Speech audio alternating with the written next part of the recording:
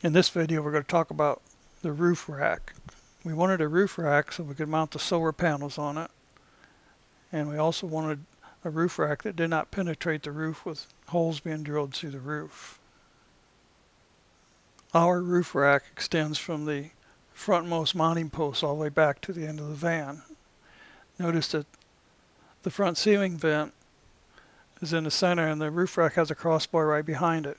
We did this to keep prevent a lot of wind from catching on the crossbar. We also place the crossbar in a 45 degree angle and that will reduce buffeting when wind hits a flat surface.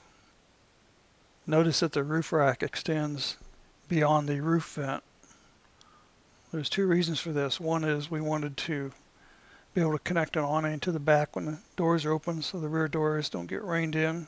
And the second reason is we want to mount the TV antennas and the cell phone antennas right next to the rear roof vent.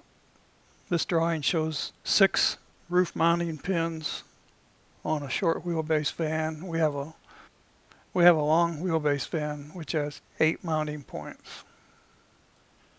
Here's a drawing of a roof mounting pin. Notice there's a flat washer at the bottom, there's a quarter inch pin going up, and then there's an oval shape on top. The space here around this quarter inch diameter is 3 16 inch high, and that's what the roof mounting bracket's clamped to. The bottom washer of this pin is welded to the roof permanently. You can't remove it, you can't unscrew it. So you have to find some way to clamp around this pin to avoid drilling holes in your roof. Much to our surprise, the going price for these clamps is $25 each, so that's $800 to do all eight pins.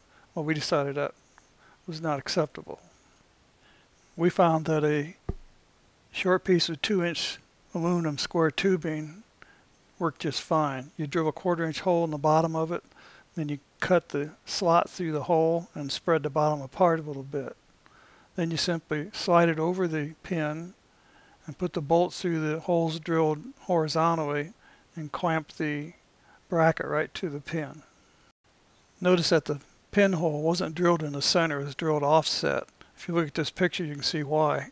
The pin is closer to the outside edge of the recessed area than the inside. So the pin has to be offset so it fits in there.